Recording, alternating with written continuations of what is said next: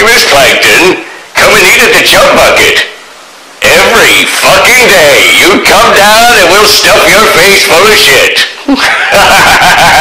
I'm just kidding. Don't come to the chum bucket, it's.